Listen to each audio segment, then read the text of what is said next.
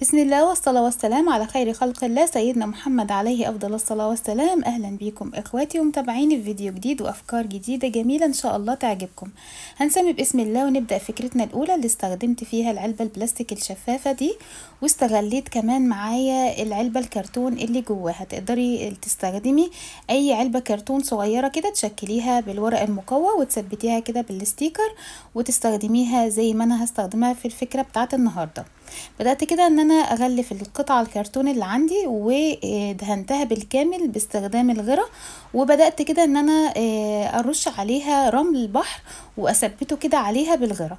هستنى عليه لغاية لما ينشف بالكامل طبعا وكل جهة هدهنها بالشكل ده. أنا سبت بس الجهة اللي في الأسفل هي اللي أنا سبتها والمكان اللي كان بيبان فيه جزء من الكرتون كنت بغطيه بعد ما بينشف الغرا وبحط طبقة كمان وأغطي بالرمل. جبت عندي هنا الورقة دي وبدأت كده إن أنا أحدد عليها مقاس العلبة اللي عندي عايزة الطول بتاعي يكون متناسب. طيب أنا هنا بعمل إيه؟ أنا برسم شكل الطحالب بتاعة البحر والشعاب المرجانية. أنا سبت لكم حتى صورتها كده ك sticker على الجانبين بتوع الفيديو عشان تعرفوا الشكل اللي أنا عايزاه يكون إيه. وده الورق اللي بيكون في ظهر ال sticker أنا يعني بحافظ عليه علشان لو هستغله في فكرة زي دي. بعد طبعا لما الشمع بينشف بقدر كده إن أنا أزيله بكل سهولة. وبدأت كده إن أنا أدهنه بالألوان دي ألوان باستل أنا استخدمت معايا مزيج من اللون الأزرق والأخضر علشان يديني درجات كده متفاوتة في شكل الطحالب والشعاب المرجانية. فطبعا ده بديل جميل جدا للشعاب المرجانية الطبيعية إن أنت تعمليه باستخدام مسدس الشمع. طبعا هنا أنا بستنى عليها لغاية كمان لما الألوان تجف كويس علشان أقدر إن أنا أستخدمها. وممكن تستخدمي الألوان الأكريليك أو الرش السبراي. هلزق بقى واحدة منهم كده في الداخل من العلبة بس هتأكد إن أنا ما أحط الشمع كتير علشان الشكل عندي يكون كويس ومتناسق كده مع بعضه. جيت للجزء ده من العلبة من فوق بدأت إن أنا أجرحه شوية وأخشنه زي ما بنقول كده باستخدام الطرف بتاع بوز المقص علشان أقدر ألزق جواه حصان البحر بالطريقة دي. طبعا الحصان ده كان عندي متوفر طبيعي. تقدري لو مش موجود عندك طبيعي تقدري إن أنت ترسميه على كرتون وتفرغيه. وتغلفيه كده بقى بأي حاجة ممكن كمان تغلفيه بطريقة التغليف اللي أنا بعتمدها دايما بالمناديل. وبدأت كده إن أنا أحط جوه القطعة اللي إحنا عملناها كده بالكرتون حطيت فوقيها الصدف وثبته بالمسدس الشمع وبعدين قفلت العلبة على بعضها. حبيت بقى إن أنا يعني أظبط المقاسات الأول قبل ما أقفلها وألزقها. جيت على الجزء اللي فوق علشان كان باين منه الشمع اللي إحنا ثبتنا بيه الحصان من الداخل غطيته كده بصدفة وقصادها واحدة يا دوب قدها وبدأت كده على الخط اللي هو واصل بين العلبتين أغطيه بقى بشريط نص لولي بالطريقة دي.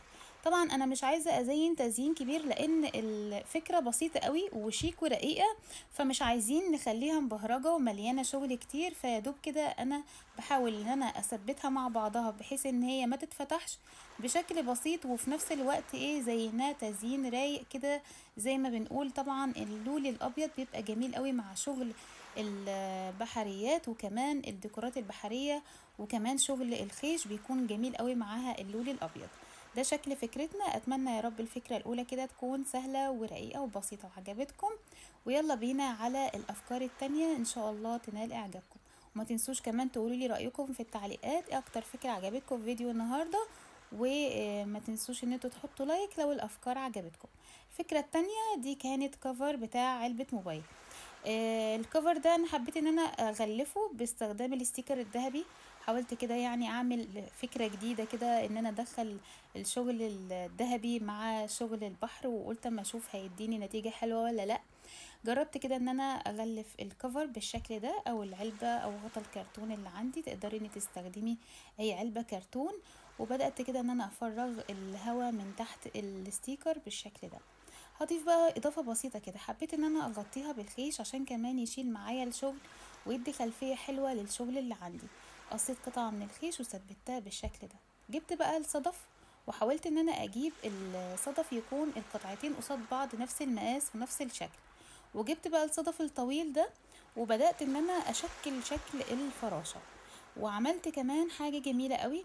جبت السلك الربط وبدأت إن أنا أتنيه وأعمله زي سبعة كده وأتني ال- الأطراف بتاعتها وأبرمها علشان يديني شكل قرون الإستشعار وعملت كده فراشتين قصاد بعض واحدة في الجنب ده وواحدة في الجنب ده.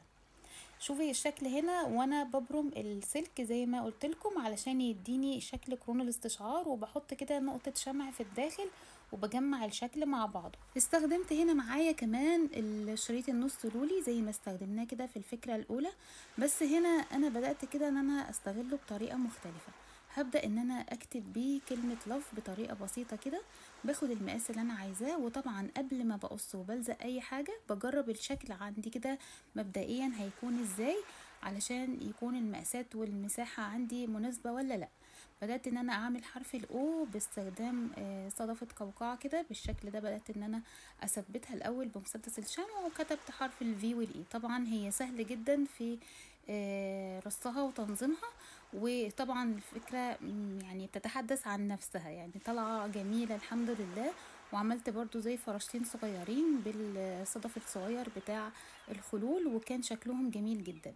دي بقى تقدري إن انت تحطيها آه، على المكتب تقدري إن انت تستخدميها كده وتعلقيها. عملت لها برضو تعليقة بسيطة باستخدام الخيط الخيش. فأنا بديكي بقى الأفكار وتقدري إن انت تنفذيها بطريقتك وتبع الخامة اللي متوفرة عندك. وطبعا ممكن تعمليها بمقاس كبير مش شرط نفس المقاس ممكن تستغلي كرتونة بمقاس كبير وممكن تستغلي الكرتون بتاع آه، قاعدة التورتة هيديكي نتيجة جميلة قوي وكمان كرتونين نتيجة يا رب الأفكار تكون سهلة وبسيطة ولو أول مرة تشوفي قناتي أتمنى إن انت تساعديني كده باشتراكك بالقناة وما تنسيش تحطي آه ال like للفيديو لأن ال like هو اللي بيرفع الفيديو بيخليه يوصل لأكبر عدد من المشاهدين. وأتمنى كده إن انت دايما تتابعي قناتي وخدي جولة كده في القناة هتلاقي أفكار كتير إن شاء الله تعجبك أفكار آه، كتيرة من إعادة تدوير وحاجات كتير إحنا بنرميها في البيت بنستغلها بطريقة بسيطة وكمان مش مكلفة. ده شكل فكرتنا التانية. أتمنى يا رب الفكرة تكون سهلة وبسيطة وتقدروا انت تنفذيها بكل سهولة وتقدري كمان إنك تتنفذيها كمشروع صغير تبدأي بيه من البيت. الديكورات البحرية موجودة اليومين دول وبتتباع بأسعار غالية جدا. فاحنا عايزين كده بخامات سهلة جدا إن إحنا ننفذها وإن شاء الله ما نتكلفش حاجة. شوفوا كمان الفكرة التانية دي أنا هنفذها بإيه؟ كتير مننا بيكون عنده كرتون وبنرميه وما بنستغلهوش فطبعا الفكرة دي أنا هستغل فيها. القاعدة بتاعت الكرتون اللي هي بتاعت التورتة بدأت كده إن أنا أستخدمها. وممكن كمان تستخدمي الكرتونة بتاعت النتيجة. أنا كنت عايزة بس أستخدم كرتونة تكون جامدة شوية. مش حابة إن أنا أستخدم كرتونة ضعيفة. ولو مش عندك ممكن تعمليها قطعتين مع بعض وتدعميهم وتلزقيهم مع بعض بجر أخدت الشكل ده وبدأت كده إن أنا أنصص الرسمة كده بالنص بالمسطرة.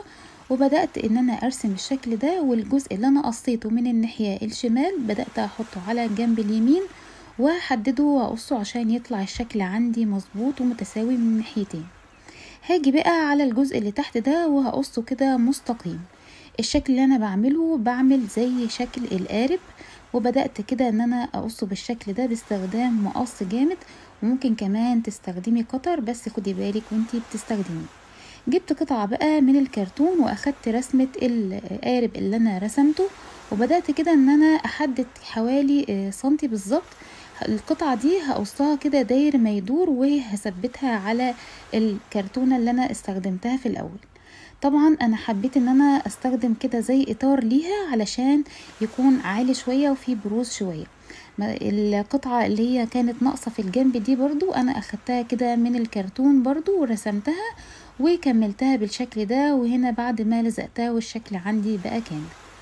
بدأت كده إن أنا أجيب معايا غيرة مخفف بالمية وبدأت إن أنا أدهن على القارب اللي عندي وعلى الإطار بغلفه كده بمناديل ورقية. المناديل دي آه لو انتي أول مرة بتشوفي القناة بتاعتي آه طبعا هقولك الطريقة. إحنا بنجيب المناديل الورقية وبعدين بنجيبها بنطبقها كويس وبعدين نفردها تاني وناخد منها بقى نقعد نفرقها الطبقات بتاعتها وهناخد طبقة واحدة بس منها خفيفة. وهندهن الأول كده الغراء المخفف بالمية ونحط عليها المناديل بس نحافظ على الكرمشة بتاعتها ما نفردهاش وإحنا بنحطها. وبعدين آه، نحط طبقة خفيفة كده بالفرشة من المية اللي معمولة بالغرة أو الغرة المخفف بالمية. ببدأ كده إن أنا أغلف ال- الشكل اللي عندي ده كله وأي قطعة كده آه، مفيهاش المناديل ببدأ إن أنا أغلفها وبستنى عليها طبعا لغاية لما بتجف. علشان آه، أجففها بسرعة بستخدم السشوار وببدأ إن أنا أجففها علشان أستغل الوقت وأقدر أشتغل بسرعة. جبت بعدها الدهان البلاستيك الأبيض وبدأت كده إن أنا أدهن الشكل عندي كله. وبعدين جبت اللون الباستل الأزرق وأخدته كده. أنا مش عايزة أخففه أنا عايزة الدرجة الغامقة دي من اللون الأزرق. وبدأت كده أدهن الإطار اللي أنا كنت عاملاه بالكرتون بالشكل ده. هدهنه كده بالكامل وهسيبه لما ينشف وهدهن كده كمان الحواف وهسيبها على جنب ونكمل بقى الفكرة بتاعتنا. جبت القطعة اللي إحنا قصيناها من الكرتون في الأول دي وبدأت إن أنا أرسم عليها الهلب وهبدأ كده إن أنا أفرغه بالمقص أو بالقطر وبعدها هدهنه بالدهان برضو الأبيض البلاستيك. ممكن تدهنيه بأي دهان مش شرط إن انت تستخدمي آه، نفس الألوان اللي أنا بستخدمها. يعني شوفي انت حابة تعملي الديكور بتاعك بلون إيه. مش شرط تكوني آه، منفذة نفس الفكرة بحذافيرها. يعني انت طبعا ليكي لمستك الخاصة اللي تقدري إن انت تغيري في فكرة النهارده وتعمليها. هسيب بقى الهلب كده على جنب لغاية ما اللون بتاعه يجف وبدأت إن أنا أجيب الشبك البلاستيك ده زي ما عودتكم وقلتلكوا قبل كده. الشبك ده أنا بجيبه آه يا إما من الأكياس بتاعة البازل بتاعة الأطفال يا إما بتكون آه، الكيس اللي جاي فيه خضروات وببدأ كده إن أنا أغسله كويس وبنضفه وبسيبه ينشف وبستغله في فكرة زي فكرة النهاردة. جبت كده الهلب بعد ما آه، اللون اللي عليه نشف تماما وجبت حتة من حبل وبدأت إن أنا ألفها داخل الهلب كده وألفها حواليه وهبدأ إن أنا ألزقها وأثبتها على الشكل القارب اللي عندي. بلفه كده مش. يعني مش بشده بحاول إن أنا أعمل فيه انحناءات كده بسيطة وبثبتها بمسدس الشمع بالطريقة دي. وجبت هنا المحار ده. المحار ده كان آه، من شط شرم بصراحة. أنا ما مش المحار ده مش موجود عندنا هنا في بورسعيد. آه ومش متوفر. بس أنا بصراحة ما أعرفش انت ممكن تتحصلي عليه منين. ممكن طبعا لو انت متابعاني أنا كنت قبل كده عملت معاكم فكرة تعليقة برضو وعملت لكم المحار ده بمسدس الشمع وبدأنا كده كمان إن إحنا نلونه. فطبعا لو انت متابعاني هتلاقي أفكار كتير هتفيدك كبدايل لفكرة النهارده. بدأت كده إن أنا كمان أجيب حصان البحر خدت المقاسين بس ده على فكرة حصان بحر حقيقي. بدأت كده إن أنا ألزقهم بالشكل ده ودي كانت الفكرة بتاعتنا بعد ما زينتها بالأصداف والقواقع وجبت تعليقة كده بسيطة صغيرة وهبدأ إن أنا أثبتها ورا بمسدس الشمع وهلزقها عليها كمان sticker كده عشان أتأكد إن هي ثبتت. الفكرة بتاعتنا النهاردة ممكن تحطي عليها صورة ممكن تحطي عليها مراية آه، ممكن تكتبي عليها كلمة بالحبل زي ما إحنا كتبنا قبل كده في أفكار كتير. أتمنى إن أنتوا ترجعوا لها وكمان تدخلوا على قائمتين تشغيل ديكورات الصيف summer decor وأفكار بالصدف والقواقع. ما تنسوش بقى إخواتنا في فلسطين والسودان من صالح دعائكم. وما تنسوش ال like وال share لو لسه ما اشتركتيش أترككم في رعاية الله وأمنه. والسلام عليكم ورحمة الله وبركاته.